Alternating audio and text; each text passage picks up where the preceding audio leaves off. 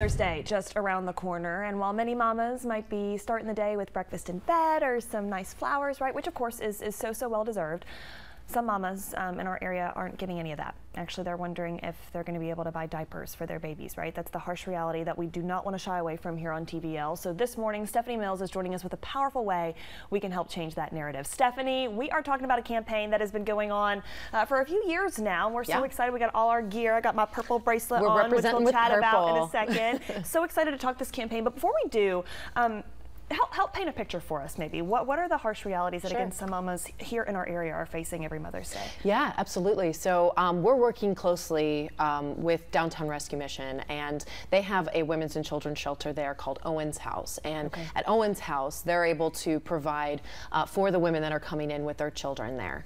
Um, and they have programs they can go through to help them against domestic violence, mm. against drug abuse, homelessness. Um, unfortunately, the reality is uh, uh, a lot of the time if they're homeless, they're running from bad situations like domestic violence, which is actually the color here for Movers for Moms with the purple. I love it's that. the awareness. Yeah, absolutely. Yeah. I know I was going to ask you about the purple coordination. I love that, again, that you guys have all tied that in. You got some great branded merch, super fun, because again, this whole campaign is going down now. Tell us now what you guys are doing. I mean, you're collecting yeah. razors, toothpaste, chapsticks, well, right? How is this all list. happening? Yes. yes, we got a whole list the here. Whole list here. Yeah, so actually, Movers for Moms, it's uh, this is my fourth year doing it, so it's it's okay. Pretty neat to be able to, to witness four years uh, doing Movers for Moms for Two Men in a Truck.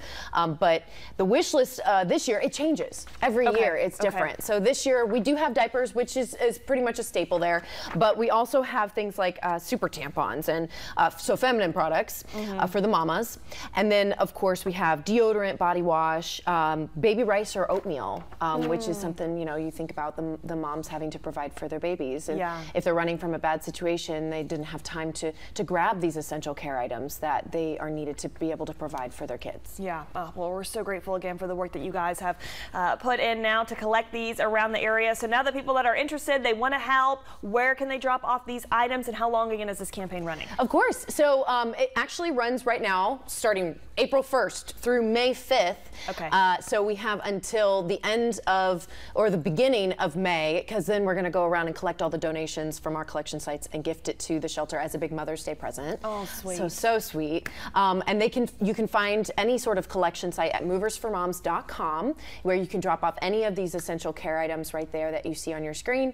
And uh, we're also going to have some special events that people can help volunteer for or uh, come out and donate. Um, Kroger off 72 is helping us to do our fourth fill the truck at mm. Kroger on 72 there. So we're going to awesome. be at both doors. As you go out shopping, you can pick up any of those items and drop it off to us outside of those doors there.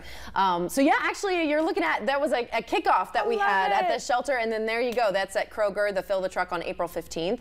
Uh, we do need volunteers that okay. day, um, but yeah, that was such a fun event at the shelter there to be able to give all the collection sites their uh, boxes and their supplies so they can go off and collect within their own uh, clients, yeah. customers, uh, staff, whoever, to be able to get these items. I love it, Stephanie. I love to just hearing your excitement about it again because you've been a part of it for several years now. Yes. Any kind of anecdotes that uh, you've either witnessed or heard about, or again, just overall reflections on just how meaningful this Mother's Day event is for mamas again here in North Alabama? Sure. Um, so four years in. Uh, it's it's still pretty mind blowing how many kids that they're having to help at the shelter with the moms. I think right yeah. now they have 15 children at the shelter. Wow.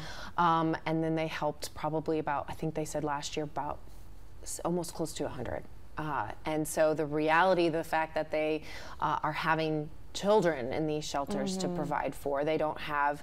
Um, what we take for granted on a daily basis, I think, is just a, a it's, it's pretty sad reality, but it's neat to be able to do something yeah. to be able to combat that. Yeah, to bring absolutely. some light in that Compassion in the darkness shines there. through for sure. Well, we, yeah. again, we thank you for what you guys have done to put that yes on the table and start this campaign. Thank you again so so much. Um, we do want to ask you about the QR me. code really quickly. I think we've got a yeah. QR code we can flash up. How can that help people donate? Yes. So we actually made an Amazon wish list. Uh, awesome. So you can actually use this QR code, find our wish list on Amazon. It has all the items that you saw on that wish list there from the shelter, and you can purchase any of those items, it goes to our two men in a truck office, Okay. and then we will uh, collect all those things together and then drop it off that Friday before Mother's Day. So easy. they have so if you can't make it out to a physical location, scan that QR code. We'll have that on tvliving.com as well, as well Thank as all the info as far as drop-off dates and collection sites and everything of that nature. So, Awesome. Stephanie, thank you again so much. We wish you all the best. Thank and you so much, for what you do. We're grateful. Thanks. Appreciate it.